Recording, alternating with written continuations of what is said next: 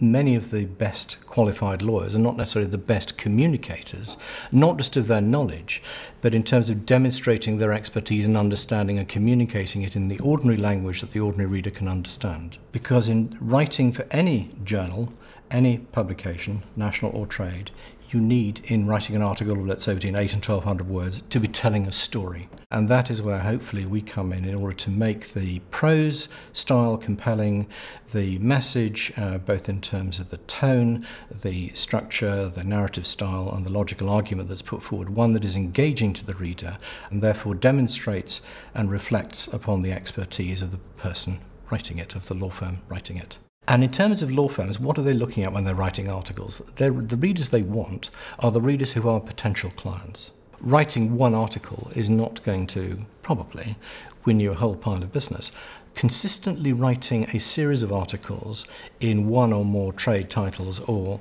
in the national press is going to help establish your name